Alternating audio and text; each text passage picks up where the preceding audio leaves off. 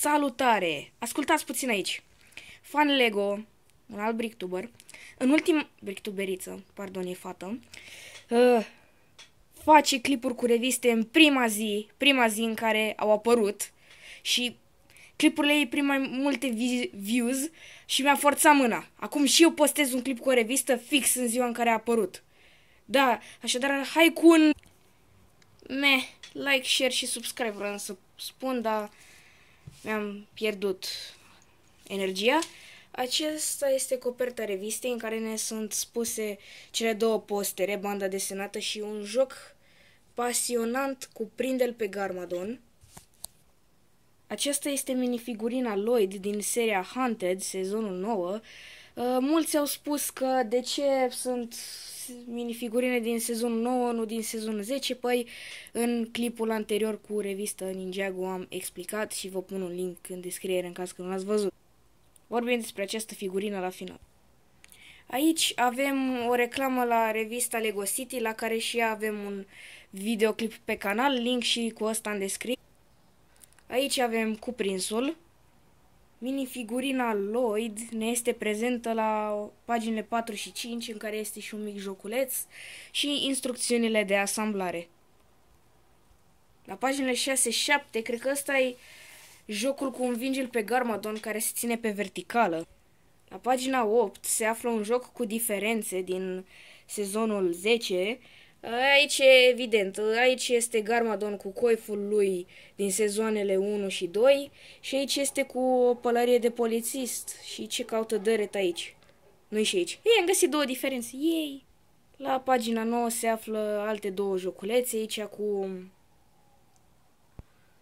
figurine și aici cu litere. Oh, ok, uite pe Python. Ah, ce gură mare.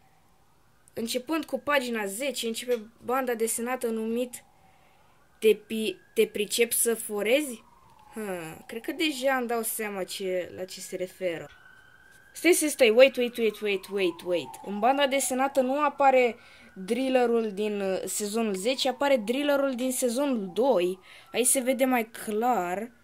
Aici e Că îl recunosc după gaura asta mare dintre roțile din spate. Ciudat, ciudat, ciudat. Prima parte a benzii desenate se termină la pagina 15. Pagina 16 este un labirint. Paginile 17, 18, 19, 20, ca de obicei, sunt postere. De data asta e prima oară când ambele postere îmi plac. Pentru prima oară nu dau seama ce să-mi pun ca și ce să-mi pun pe perete. Ăsta cu toți ninja sau ăsta cu ninjaul meu preferat. Cred că ăsta că e vertical și arată mai șmecher așa, cu energia. Mm-mm. La pagina 21 este o imagine de colorat cu Jay. Pare foarte hotărât el aici. Cum se gândește el în ploaie cu să scap de pistruii ăștia sau să nu scap de pistruii ăștia. La pagina 22 reîncepe banda desenată și finalul se găsește la 27. Cum am spus, la fiecare revistă acum se prezintă câte un ninja. La prima a fost, nu mai știu ce a fost, mă scuzați, îmi venea să râgăi, dar n-am fost dezgustător. Data trecută a fost Cole, acum este Jay. Ne povestești despre istoria lui, de acel episod din sezonul 1 în care se băteau cu șerpi, întâlnirea cu Nia. Mmm, ce sandvișuri. Uh, chestia din sezonul nou în care se dădea mare cu clopotul ăla. Nu va fi niciodată Ninja Verde, ce îmi place gluma asta. A, sezonul 6 în care și-a făcut o echipă, interesant, interesant. Paginile 30-31 este unul dintre seturile mele preferate în Jago Legacy, foreza de pământ a lui Cole. Hmm, am și eu o întrebare filozofică. E pleonazm să spui foreza de pământ? Oricum, include coasa de aur, evident foreza de pământ, un războinic de piatră, de fapt doi, și unul gigantic, pe col care stă acolo bine mersi și pe cai. Apropo, setul are 587 de piese. Hmm, dacă avea 600 era o treabă. La pagina 32 sunt desenele. Uh, ok. Și de multă vreme nu s-a mai întâmplat acest lucru. La pagina 33 avem, ok, un... Nu, am un lapsus acum. În care zici ce părere ai avut de revistă, bifezi chestii pe aici, trimiți și ei vor lua acest lucru în considerare să fie revista și mai bună. Bun, bun, bun. Sunteți gata să aflăm ce va fi data viitoare? Eu am văzut pe net că e posibil să fie Senseiul U din Ninjago Legacy, adică acel costum foarte asemănător din sezonul 1 cu negru și mâneci albe. Ia să vedem, ia să vedem, focusează-te bine și... Fițear capul tău de... Mă scuzați, mă scuzați. Uh, huh. Costumul este exact același ca din Sons of Garmadon, dar are masca din Legacy. Dacă era evident el din Legacy, n-aș mai fi luat spinnerul lui Cole. Și are un ciocan. Bă, dar ce nașpa, frate? Ce na- nașpa figurină? Nașpa figurină! Nașpa! Că mare parte din piese le-am obținut deja la de la alte reviste. Bine, corpul, costumul efectiv. Masca nu, masca, masca mersi, mersi să rămână că a apărut.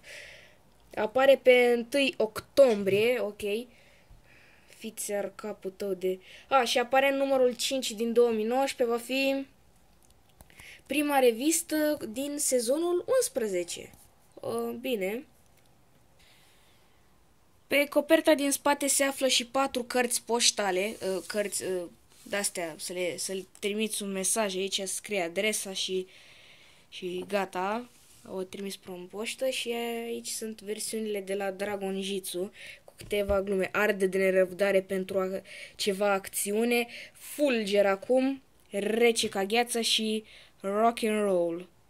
Uh, asta cu Kai și cu Cole îmi place gluma, la Jay și cu Zane e nașpa gluma, nu. Ceva mai neinspirat n-am văzut.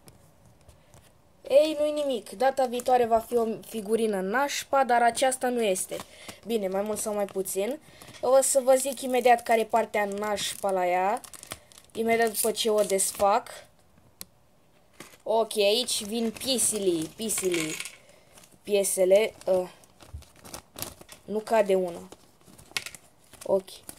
Mai e ceva, mai e ceva? Mai e ceva, ia să examinăm. Mai e ceva? Haide mă, deschide-te. Nu mai e nimic, nu mai e nimic. Toate piesele sunt ale de acolo. Foarte drăguț.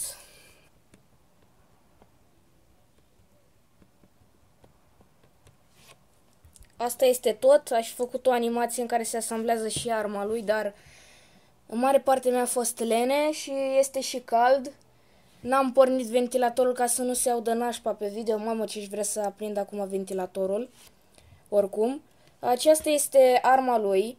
Cum am spus, este foarte utilă pentru a face o armă din sezonul 11 a șerpilor Pyro, Pyro Snakes și poate fi pus focul, focul, pu, focalizează-te numele lui așa, mulțumesc. Foarte bună pentru a face acea suliță cu pergament for Biden Spinjitsu în serial se află toate aceste chestii, dar chiar cred că este exact aceeași piesă. Cred că este exact aceeași piesă, am să verific, nu sunt sigur, n-am verificat, îmi pare rău. O să las eu un comentariu jos pe care îl voi fixa, în care voi spune dacă este fix aceeași piesă. Și arată destul de bine arma. Ok, e o armă, nu se poate povesti prea multe, dar Lloyd. Marele lucru dezamăgitor, masca masca. Partea de jos neagră, da, asta e corect, dar partea de sus, du-te... Este exact aceeași mască ca la revista numărul 2 de anul trecut și ca polybag-ul acela cu mini-mașinuța lui, deci foarte nașpa. Deci la G au putut să dea o altă piesă și la Lloyd nu au putut, habar n-am de ce. Și un alt lucru dezamăgitor sunt fețele sale alternative, care sunt și ele aceleași. Bine, singurul Singurul set care are niște fețe noi pentru el este For Biden spingițul de 50 de lei care a apărut recent. Ăla are niște fețe noi și super șmechere. Uh, în cazul ăsta e oarecum de înțeles, în cazul fețelor. Dar al măștii, de ce?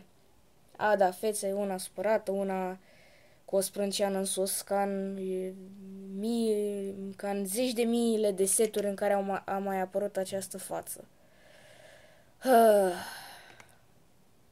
Din păcate eu n-am partea de sus a măștii, știi? Știți voi vreun set micuț care are partea asta de sus? Să nu spuneți sala tronului că vă bat. Și costumul arată bine, îmi place, nu mai e nimic de zis. Stați să vedeți cum arată și cu arma în mână. Acesta a fost uh, videoclipul. Lloyd vă taie cu sabia dacă nu dați like și subscribe. Noi ne vedem data viitoare. Tu știai că tatăl meu e Oni? Ce-mi spui tu mie? Nu, nu știai? Păi, păi documentează-te, frate! Documentează-te! Pănete tot ce vrei să știi!